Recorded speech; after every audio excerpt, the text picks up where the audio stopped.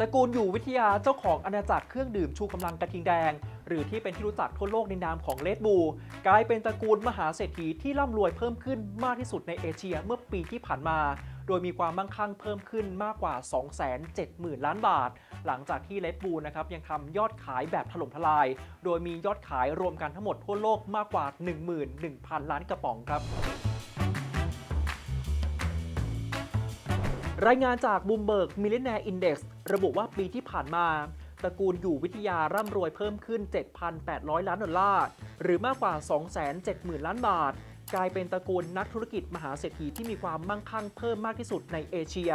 และหากนับจนถึงวันที่ 14 มีนาคม ครอบครัวอยู่วิทยา มีความมั่งคั่งรวมกัน 27,000 ล้านดอลลาร์ หรือมากกว่า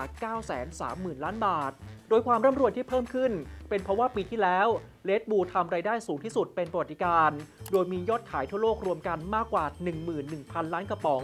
รับอนิสงส์หลังจากที่การระบาดของโควิด -19 ที่คาย ทำให้ผู้คนได้กลับมาใช้ชีวิตตามปกติ ได้ออกกำลังกายมากขึ้น หลังจากต้องถูกกักตัวมานานมากกว่า 2 ปี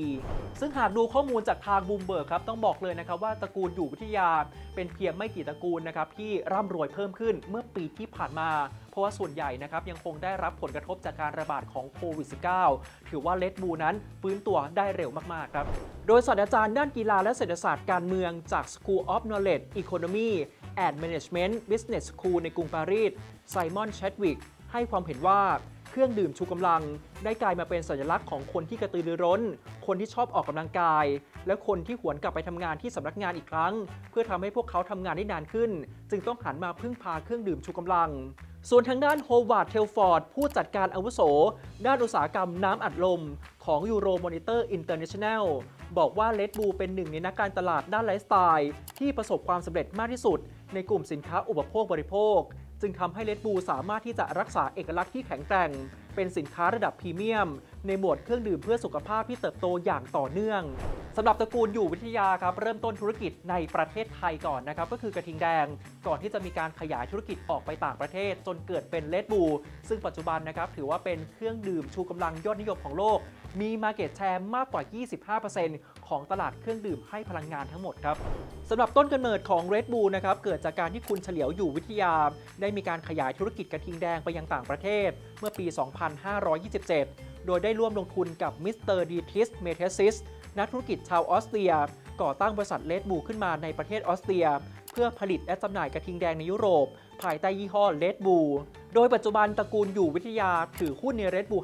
51%ส่วนที่เหลืออีก 49%เป็นของบุตรชายของคุณ Mateschitz ซึ่งกลายเป็นมหาเศรษฐีรุ่นใหม่ที่ร่ำรวยที่สุดในยุโรป หลังจากที่คุณพ่อของเขาได้เสียชีวิตลงเมื่อปีที่แล้ว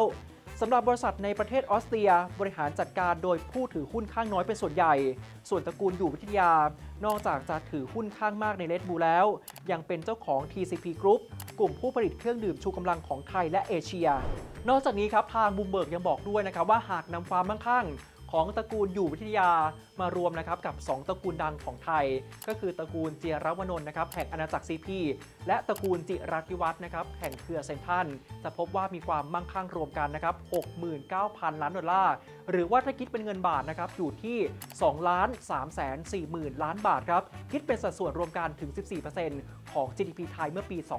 2564 ทุกท่านคิดเห็นอย่างไรครับ ฝากคอมเมนต์แสดงความคิดเห็นกันเข้ามาหน่อย รวมไปถึงฝากกดไลค์กดแชร์ในทุกช่องทางเลยนะครับ ทั้ง Facebook YouTube รวมไปถึง TikTok ของทางกรุงเทพธุรกิจครับ